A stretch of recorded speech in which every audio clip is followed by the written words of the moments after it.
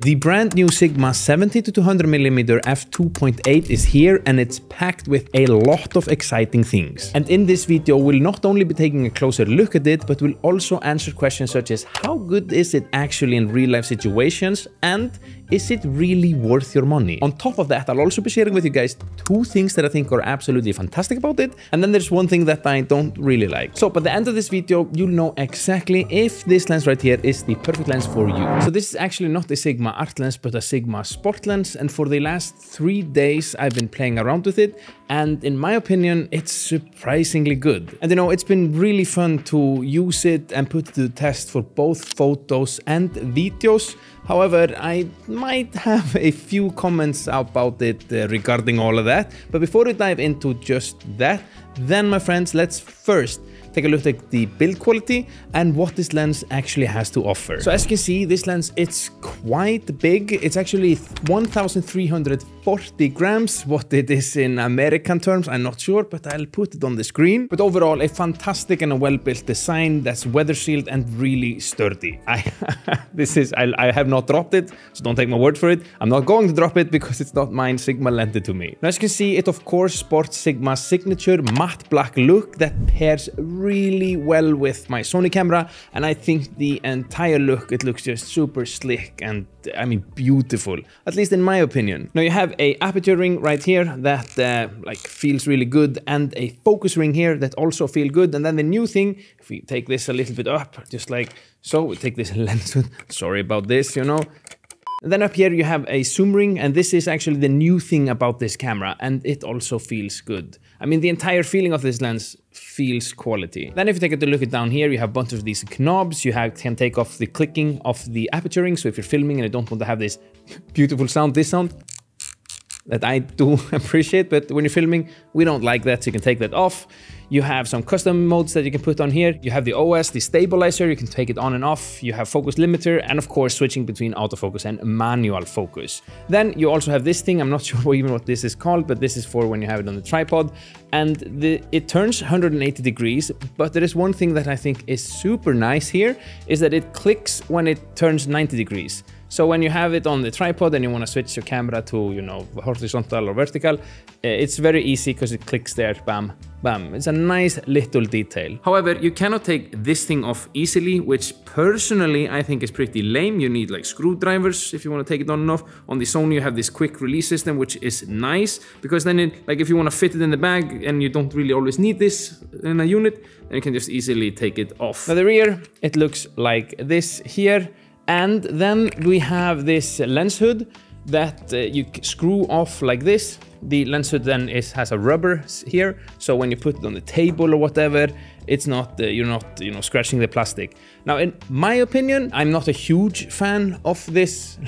Actually, then I'm not a fan of that screwing system at all. I think it's slow and clunky, and uh, it just takes a whole lot of time. Now I get that this is just a personal preference and I did ask Sigma about it and they said that this is like a more durable system than what you have on like regulars like this. However, this has never break broken for me and yeah, again, just a point of preference, but this is my opinion. But as I said before, then I've been playing a lot around with this lens for both photos and videos and I am surprisingly impressed. So if we start with the photos, then the images turn out really sharp, even at f2.8. And my friends, you can get some serious Pokeballs. Pokeballs. Pokeballs. We like Pokeballs and Pokeballs if you're a 90s baby like me. Now, personally, I'm not that much of a portrait photographer, but I did ask my friend Brandon to pose for me, and the images, as you can see here, they turned out pretty great. So, like, if I were a portrait photographer, this is a great lens for that. I mean, the 70 to 200 millimeter, it's good. It's nice for portraits. Now we get a little uh, Patrick coming in. Now, where were we? Now, one thing I want you guys to keep in mind is that this lens right here, this is actually a prototype. And the like final result when they release it, it will have some updated firmwares or anything like that. So uh, Sigma specifically told me, remember this is a prototype, if there is any wrongness, it will be fixed. But up until this point, I personally haven't found anything that I think is, or, or have I? Maybe. Let's see. So the chromatic aberration, I have no idea how to pronounce that word, aberration, but the like color fringes, it's really well controlled. I am not really seeing a lot. I tried it shooting, you know, tree branches, which usually is like, where I, in my opinion, at least for me, where the cameras have the hardest time, you know, with that.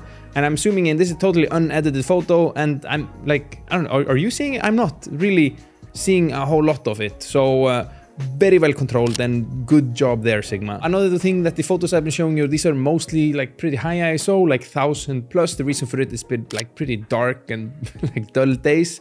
So I had to like, because uh, I'm shooting handheld a lot, uh, then I had to like pump up the ISO a little bit. Another thing I was looking for is to see if there are any vignetting and uh, I'm personally not seeing any like vignetting at all. How are you? Let me know in the comments down below. But I did however do a little test where I saw a tiny bit of vignette and you can see the difference when you go down to 2.8. In this scenario here, there's a little bit of vignette compared to f4 or like the higher f-stops, but this is totally normal and yeah, it's not that noticeable. And to my eye, it's also pretty sharp across the entire image. Sometimes when you have lenses, they can be like more sharp in the middle or whatever, but here is like pretty even sharpness.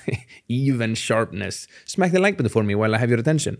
I did also take it out to the streets and had a fantastic time. This is definitely my cup of tea when it comes to entertainment, taking photos. I wish I had more time with this lens. I wish I would be able to, you know, go to the mountains, but I do live in Stockholm, Sweden, and there are no mountains close by, and I'm not going to Iceland until next month to visit my friends and family there. But with that being said, street photography is also fun, and there are a lot of cool shots that I managed to get with the Sigma you know, that I'm holding right here and you know, that this entire video is about and the reason you clicked here. And on top of that, the autofocus is also fast and accurate. However, when I was in the forest and it was extremely quiet around me, I did hear a slight, you know, how do you explain this? A slight sound in it, like they was trying to catch focus or thinking like, it's not enough for, I don't think the microphone will pick it up. And when I was here in the studio or in the city, I didn't hear it at all. But when it was super quiet, then I did hear a slight sound. I just wanted to add that there. Now, this was all about photography. When it came to video, however, that's where things, you know, became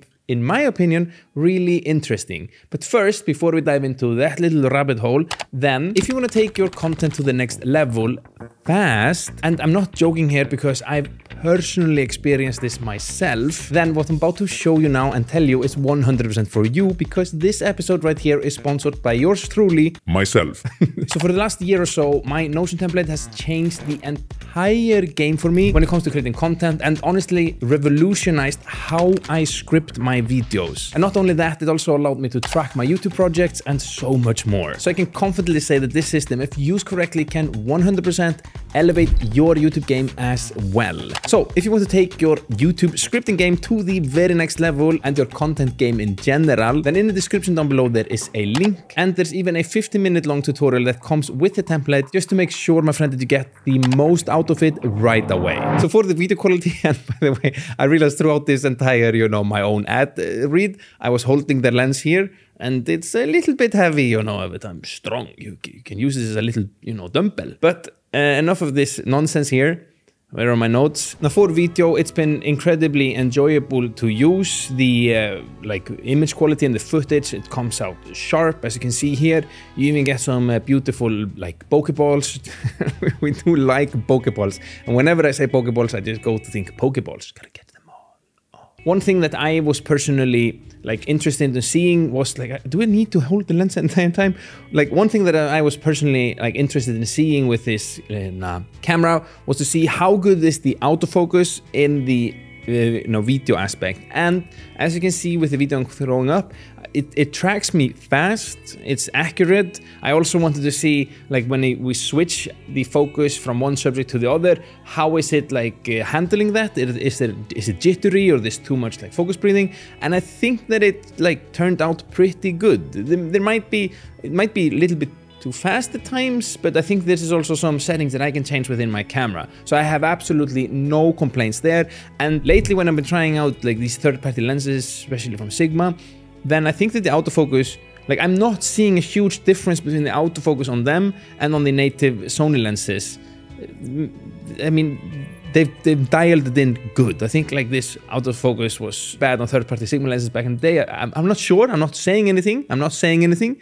But in my experience for the newest models that I've tried, they've all been like fantastic. Now, I was also trying to look for any type of distortions, both for photos and videos. And personally, I'm not really seeing anything. Here I'm looking for like vignetting, I'm looking for some like barrel distortion or, or like pincushion distortions, some type of distortions. I'm looking for like if the if uneven sharpness or whatever, or if the Im images aren't sharp. And I I am not seeing anything, but I'm not nitpicking too much. I'm not too much of a nerd, but what do you think? Like, feel free to let me know in the comments down below if if I'm just here uh, like saying some bullshit or if you actually can see anything that is uh, isn't as good. Like we are here making this community together, and uh, together we grow. You know. Now, when it comes to the price, then at the time of the recording, the price isn't uh, yet uh, available. I, I don't even know the price. But the beauty of editing is the fact that we can jump between space and time. So welcome to the future, my friend. And here, the price of the Sigma is